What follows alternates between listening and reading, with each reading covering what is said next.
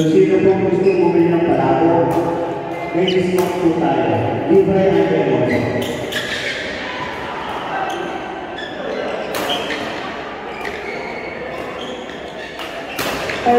Break number five,